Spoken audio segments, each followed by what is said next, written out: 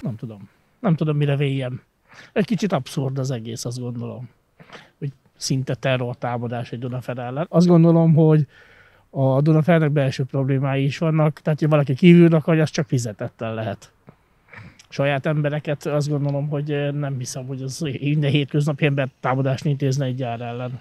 Hát az, hogy ő kijött ide, aztán azt gondolom, hogy polgármesterként helyesen, helyesen tette. Bár gondolom késő időpont volt, ettől függetlenül megtette, ez egy helyes dolog volt. Akkor már műszakváltás volt, mentünk kifelé, a híresztelések szerint kevesebb, vagy hát több rendőrautóra, meg rendőre számítottunk, meg ott terjesztették bent, hogy ú, lehet haza se tudunk menni, de mikor kijöttünk, meg volt este a műszakváltás, akkor már kevesebb rendőrautó volt, meg nyugodtabb is volt a, a környék. Tudjuk pontosan ki mond igazat, ki nem erről, mert ott a sajtó alapján nem tudjuk mi megítélni ezt. Tehát jó lenne végére járni ennek az egész dolognak, hogy törvényesen, hogy ki, ki kivel van, mert mi csak ennyit tudunk, amit a sajtóból leírnak. Hát meg voltunk döbbenve.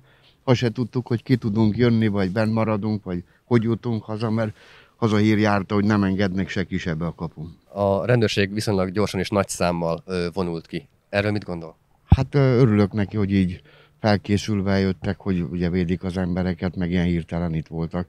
Mert mi is egyik percről a másikra hallottuk a híreket, hogy körbevették a vasműt a rendőrök, és figyelik a fejleményeket, hogy mi van. Haza a műszakból este tízkor, örültem, hogy ki tudtunk jönni, ezt minél hamarabb hazajutottunk. Szerintem ez csak ilyen szemfényvesztés.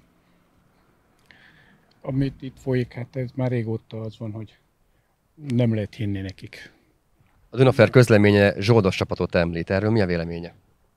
Ezt már többször említették, az ukrán hordákot. Ez olyan rendszeresen visszatérő téma. Hát valamit ki kell találni nekik. Azt most, hogy ez mennyire igaz, vagy mennyire nem. Végül is ugye a két csapat közötti visszály, ez előbb-utóbb várató volt, hogy esetleg ebbe belefajul. De most, hogy ez igaz vagy nem, ezt nem tudjuk. Más meg az, hogy szégyen azért, hogy Magyarország szívében ezt a magyar törvények megengedik, hogy a két, az orosz meg az ukrán itt háborúzzanak.